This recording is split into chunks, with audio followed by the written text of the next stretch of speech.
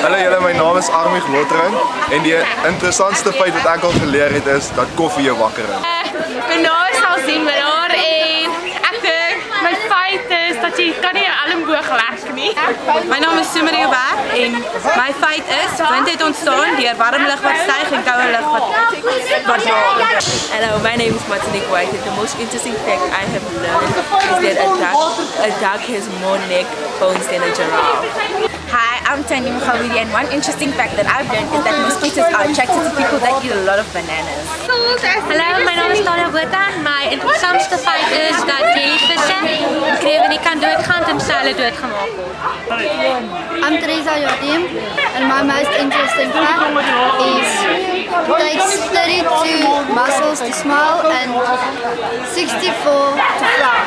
Maar die interessante feit wat ek al geleer het is dat tomatiesous was gebruik as medisyne in 1830. Hallo julle, my naam is Jandre Versagie. My feit is dat die son trek water. Hallo julle, my naam is Janelle. En die beste wat ek hoor is, jy kan nie hard tel nie.